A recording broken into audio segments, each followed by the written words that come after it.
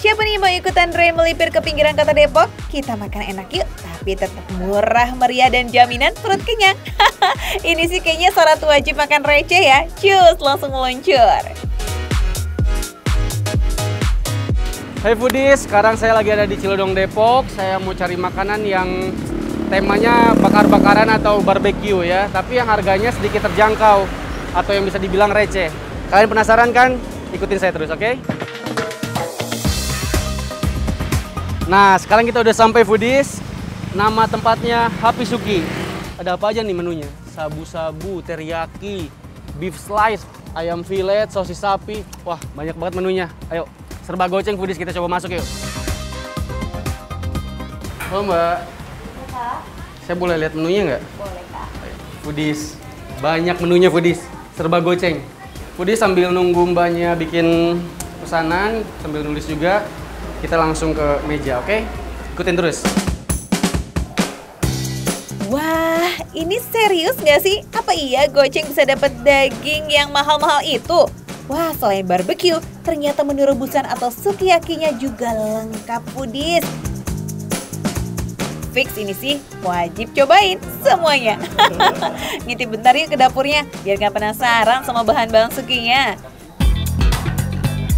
Hmm, selain daging dan jenis menu rebusan yang segar, kuah rebusannya juga diracik sendiri di dapur foodies tanpa bumbu penyedap tambahan. Wah keren nih, ada kuah kaldu sapi murni, ada juga kuah tom yum yang asam pedas segar. Gak heran ya, meski tempatnya sederhana dan cenderung baru, pengunjungnya udah rame nih foodies. Harganya yang receh dan kualitas makanannya yang fresh bikin warga Depok menyerbu tempat ini. Oh iya, kan sesuai konsepnya. Happy Suki alias makan yang bikin happy tanpa khawatir kantong jebol. Menu di sini terdiri dari dua paket. Ada paket goceng dan paket 10.000 aja. Tuh lihat foodies, potongan daging dan perintilan sukiyakinya. Wih, sama sekali nggak pelit ya. Kayak bakal puas banget nih makan siang kita kali ini. Nah, datang juga. Ini yang tadi 5.000 ini. Oh, ini yang 10.000. Ini yang 5.000. Ini 5.000. Lihat foodies. Porsi segini banyak 5.000. Eh, Ini 5.000, 5.000, ini 5.000. Nah, ini baru 10.000 nih yang chicken wings ayam ini sama sosis. Ini saus-sausnya udah komplit. Daging-dagingannya udah komplit. Tapi kok ada yang kurang ya? Mbak, Mbak, kuah tom yumnya mana ini kuah tom? Eh, Tom yum, tom yum, tom yum.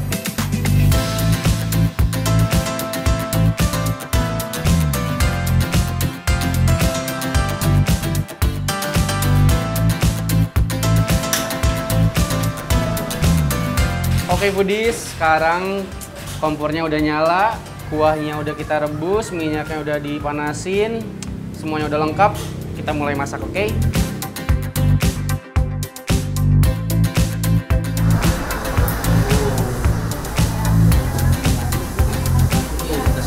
Langsung ya. Uh, ini apa lagi, Mbak? Oke. Itu odeng. Kayak watak-watak ya? Bukan, beda lagi. Oh, Ini sabu, oh itu udang sabu. Ini apa? cumi flower Cumi flowers. Oke, itu udang. Oke, sekarang kita mulai rebus dulu ya. Ini tadi bakso ikan katanya. Wah, wah, wah, selain daging sapi yang segar, ada juga paduan seafood seperti udang dan cumi yang dibentuk seperti bunga. Buat kalian yang nggak begitu hobi makan daging sapi, jangan sedih. Menu olahan ikan dan seafoodnya juga lengkap kok. Oke foodies, kalian lihat kan? Makanan segini banyaknya cuma 5000, 5000, 5000, 10000. Sangat terjangkau sekali ini foodies kan? Oke, ini ayam udah mulai matang nih sama daging-dagingannya. Kita mulai pindahin kali ya. Kita ambil yang daging slice-nya dulu karena ayamnya kayak belum belum matang.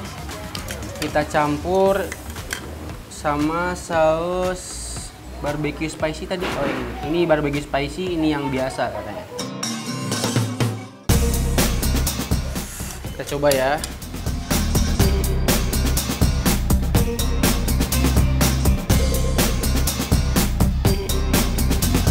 saus barbecue spicy-nya mantep banget ini pedes sumpah. Goks. Gimana gimana? Lazis kan? Makanya jangan pandang sebelah mata kedai makan barbecue dan suki-suki kelas emperan jalan kayak begini foodies. Walau harganya receh, tapi rasa boleh diadu. Kalau nggak percaya langsung aja datang ya dan buktiin sendiri. Sekarang kita cobain yang direbus. Kita banyakin ya kuah tom yumnya ya. Oke foodies, ini lihat tom yumnya, kuah tom yum dengan olahan ikan tuh dan sayur-sayuran, oke? Uh, kuahnya aja itu udah nendang di lidah. Asinnya pas, asemnya pas, pedesnya juga pas. Foodies, kita cobain sayur-sayurannya. Berasa masih seger sayurannya. Kita coba olahan ikannya.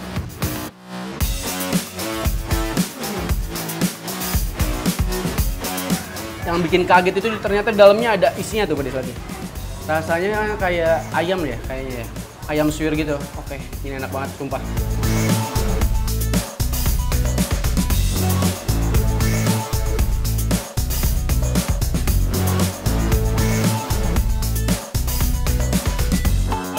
Bener sekali. Ini keju, eh, kejunya sampai lumer-lumer foodies. Tapi panas foodies. Tapi lihat tuh, masih panas banget sampai kelihatan kejunya lumer ya kan tuh ini enak banget sih Wih, seru banget emang makan yang kuah-kuah panas dan seger kayak gini ya. Langsung lagi ngambilnya dari kompor. Eits, sekilas mirip, tapi udah pada tahu belum bedanya suki sama sabu-sabu? Nah, meski sama-sama dari Jepang, tapi keduanya ini punya perbedaan loh foodies. Kalau sukiyaki biasanya menggunakan kuah kaldu yang gurih dan sedikit manis. Nah, kalau sabu-sabu, kuahnya sedikit beragam foodies. Ada kuah kaldu dan bisa juga menggunakan kuah tom yum seperti yang dimakan Ray ini nih foodies. Oke foodies, kita daging-dagingan kita udah coba, kuah-kuahan udah kita coba. Sekarang kita coba, oh ini nih, makanan-makanan laut atau seafood ya. Ini udang, udang ya foodies ya. Ini udang, ini ada odeng, ini sabu-sabu, ini campuran udang sama slice tadi, dan ini cumi flowers ya.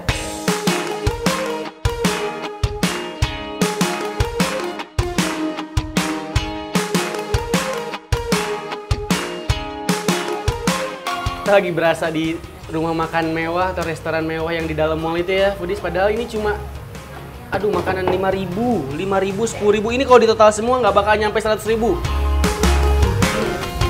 Gimana? Udah puas belum makan-makannya? Pengen makan barbecue dan suki-suki, tapi budget pas-pasan? Jangan sedih. Ada kan versi recehnya?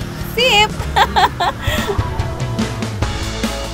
Jadi foodies, buat kalian yang mau cari referensi buat makan-makan barbekyuan atau ala-ala Jepang itu bisa datang sini ke kedai Happy Suki di Cilodong Depok, oke? Ingat, makan receh, menu receh, rasanya gak recehan. Oke? Bye bye.